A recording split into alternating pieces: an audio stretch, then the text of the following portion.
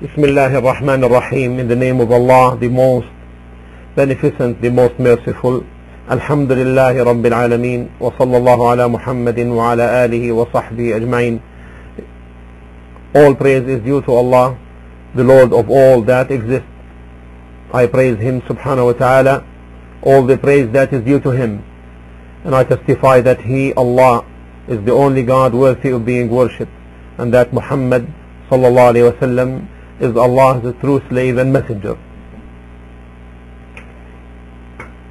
May Allah's salah and salam be upon the Prophet Muhammad, his noble and pure family, and all of his noble companions. Inshallah we continue the tafsir of part 30 of the Noble Quran and tonight we will begin Surah Al-Balad and inshallah we'll try to finish it all. Surah Al-Balad which is chapter 90 of the Noble Quran and it's exactly 20 verses 20 ayat يبدأ الله عز وجل يقول الله عز وجل لا أقسم بهذا البلد وأنت حل بهذا البلد لا أقسم it started by the article لا and this article لا is not a negation here in the context of this verse rather it is استفتاح للكلام meaning opening speech and for توكيد للتوكيد meaning for a firmness because what is intended here is to affirm the oath and the swearing meaning أنا أقسم بهذا البلد meaning I swear by the city of Mecca so here it draws attention and it also brings affirmation and القسم swearing تأكيد الشيء بذكر معظم على وجه الخصوص القسم swearing is to affirm something by mentioning something which is magnified on a particular way so anything which is sworn upon must be magnified by the one who is swearing. Though it may not in its own essence be the case meaning those who swear by Allat and Al-Uzza Allat and Al-Uzza are both idols. They are magnified to them. However in itself it is not really worth magnification so therefore the articles for swearing in Arabic are three the articles in swearing يعني حروف القسم ثلاثة the articles of swearing from the Arabic grammar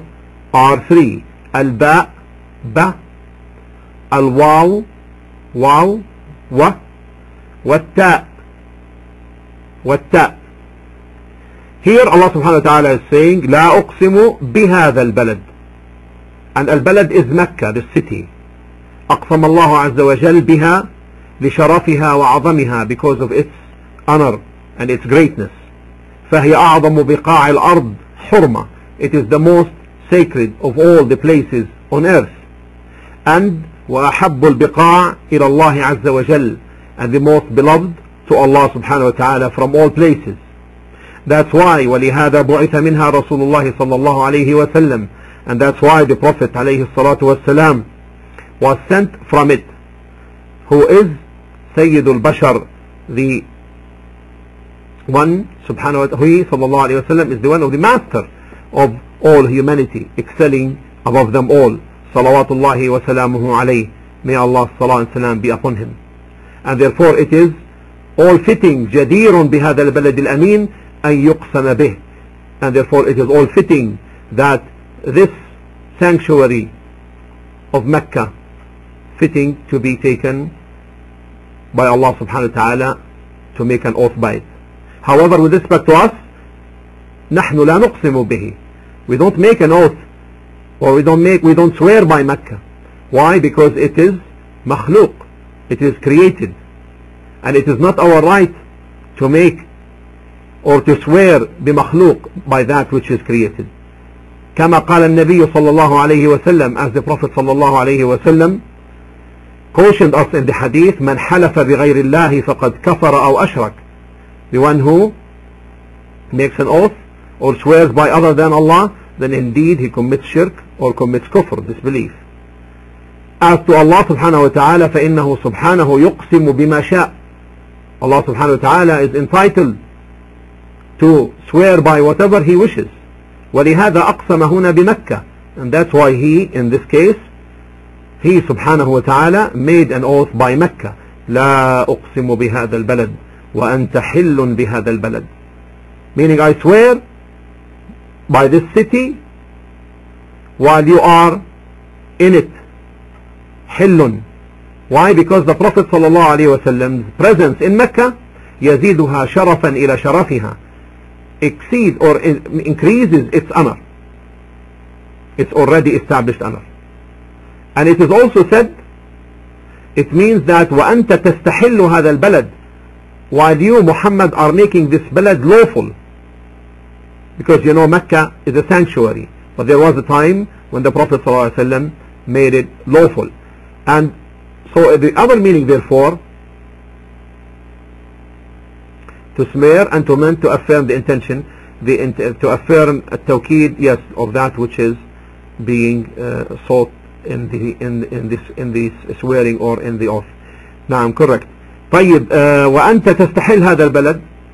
meaning while it is made allowable to the Prophet صلى الله عليه وسلم and this was of the time of فتح the opening of Mecca Why because لأن مكة عام الفتح أحلت للرسول صلى الله عليه وسلم ولم تحل لأحد قبله because Mecca at the time of فتح of the opening of it Mecca was allowable made allowable to the Prophet عليه الصلاة والسلام and it wasn't the case before that for anyone else and therefore ولا تحل لأحد بعد ذلك and it is not also allowable for anyone after that كما قال النبي صلى الله عليه وسلم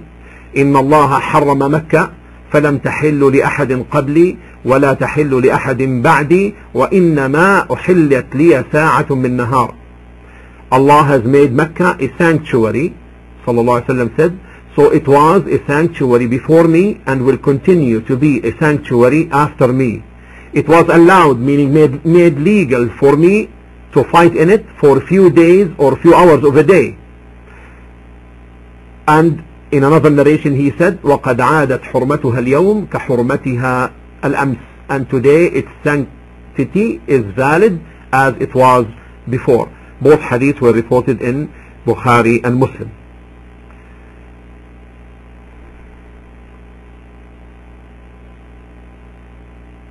and therefore the iqsam, the swearing of Allah subhanahu wa ta'ala in this city, by this city, is restricted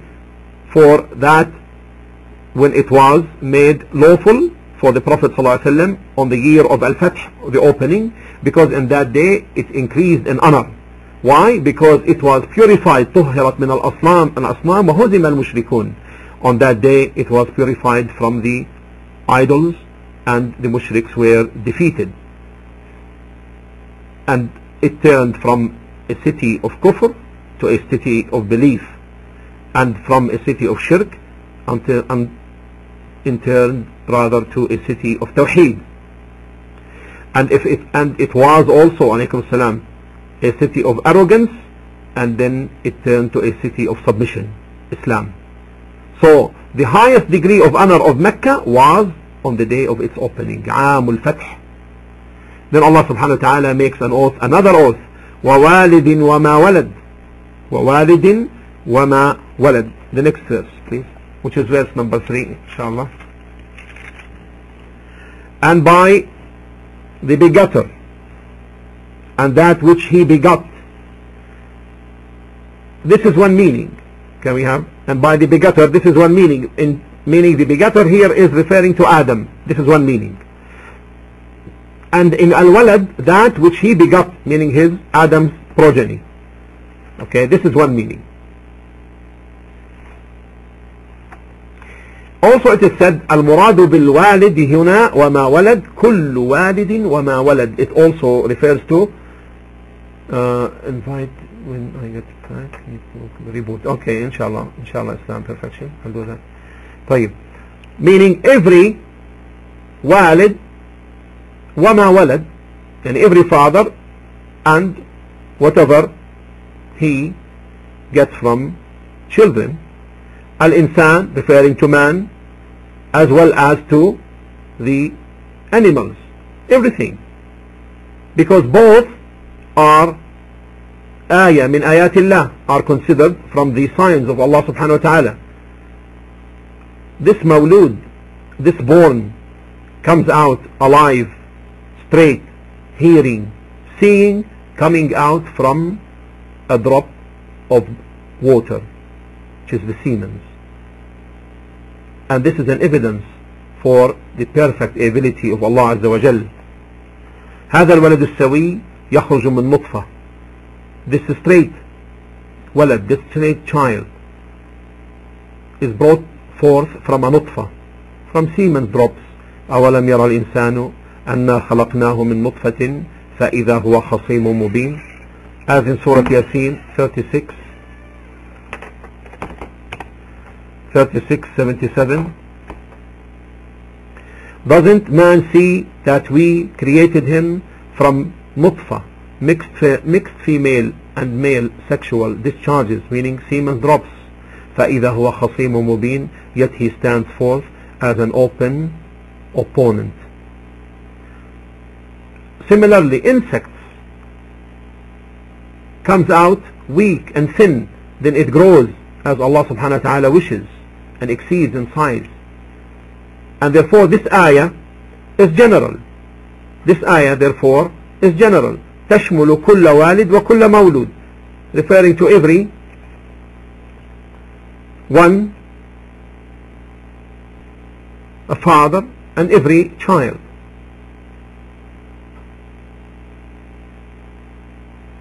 and everything from the animals also and their offspring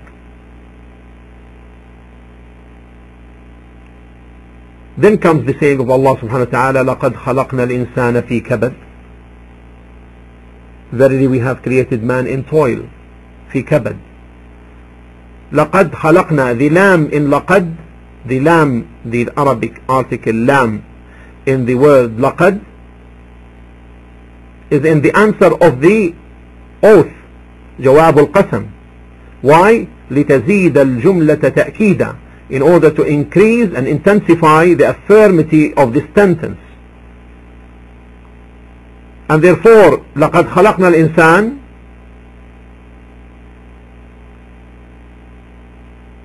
is affirmed by three things first of all the swearing bad voice bad voice is it really is the sound bad there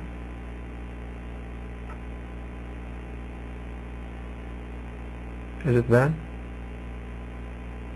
Okay something's popping out here. Is it better now?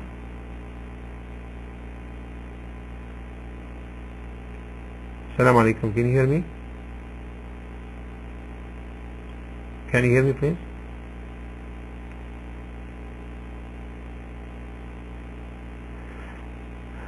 Cracking it's cracking okay. Let me get out and come back inshallah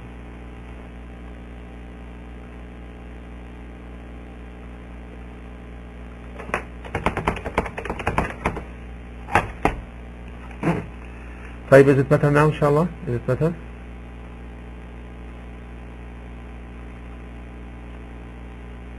any improvement طيب الحمد لله okay so we continue inshallah ta'ala لقد قد as well as an article of affirmation توكيد so this sentence is affirmed by three things first of all القسم القسم the swearing second the lam the article lam in laqad in the saying of Allah laqad and also qad itself خلقنا الإنسان الإنسان refers to the type of man everyone from the children of Adam في كبد what كبد means we have created man in كبد what is كبد it translated there in the verse that you saw in toil the first meaning it has two meanings the first meaning is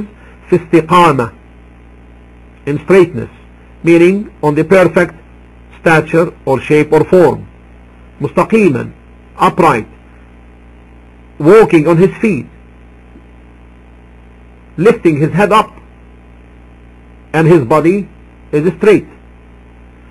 however the animals are again it's coming to